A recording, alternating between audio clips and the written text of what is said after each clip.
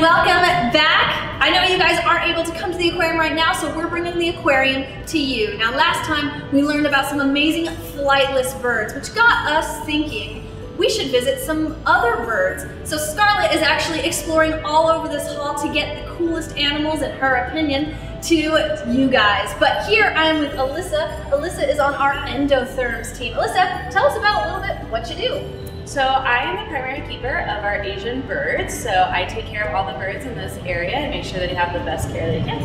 Very, very cool. That sounds like a great time. What is the difference between these birds and penguins, other than, of course, these guys aren't swimming right now? That's true. These birds aren't the excellent swimmers like penguins are. These birds are capable of flying and fly very well. And these birds also live in really warm climates, really warm regions of Asia. Interesting. So we learned with penguins that they're usually found in very, very cold, cold climates. So these are polar opposites, if you will. Yes.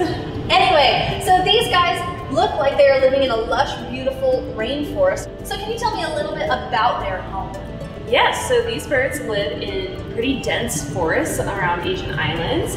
The forests are very hot, very humid, and with those forests, these birds actually help those forests grow. These birds really, really like to eat fruit seeds, and so they'll eat those fruits and they'll actually pass those seeds along in their poop, which is nice fertilizer to allow more plants to grow. So not only is that amazingly fascinating, but their poop helps plants grow? Yes. Oh my gosh, that's amazing. So it looks like these guys live pretty harmoniously within the plants. So the plants help them by providing a home, and then they poop out the next generation of plants. That's right. So it seems like they're really helping the forests. My question is, can we help the rainforests too?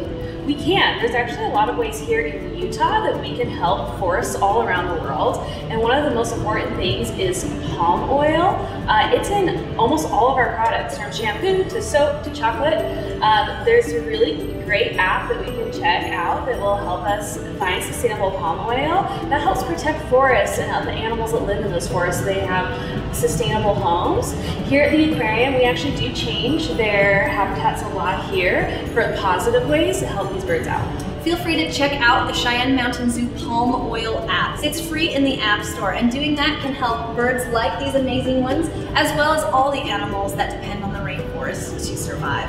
But you said here we do some things to change their environment a little bit. Can you tell us a little bit about that? Yeah, so we change up their environment pretty regularly. One of the ways that we do that is through enrichment. So we will provide them a variety of enrichment almost daily to bring new mental stimulation and exercise to our birds. We can toss other crickets and new worms out for them to go forage for. Uh, they also really like to destroying new plants to build their own nests here. Interesting. That is amazing. Thank you so much for sharing your knowledge.